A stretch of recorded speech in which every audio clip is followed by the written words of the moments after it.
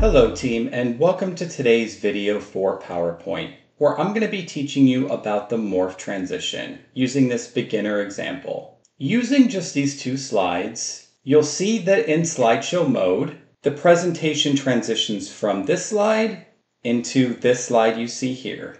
Let's jump in and see how it works. First, let's cover exactly what the morph transition is doing. You'll see I have one slide here with one box of text and what I want to do is duplicate the slide using Control plus D on the keyboard. And then on the second slide, I'll make this box taller, but also a bit thinner. Now if I go to the Transitions tab and select Morph, and I can go into slideshow mode, go to the next slide, and you'll see that transition. So basically what PowerPoint is doing is taking elements from your initial slide that you duplicated and morphing them to adjust to their new positions or sizes. So now let's build out the cool morph transition we showed at the beginning.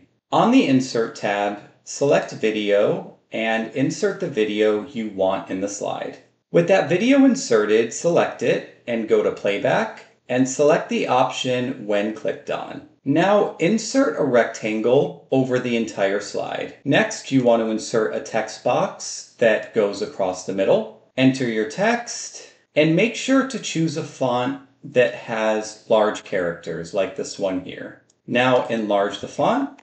Your next step is to click on the white box behind your text and then while holding down control, select the text box. Go to shape format and under merge shapes, select Subtract. Click on the slide and press Ctrl plus D on the keyboard to duplicate it, and then zoom out in the presentation. Click on the box with text and you're going to increase the size of this box and you're going to need to increase it quite a bit.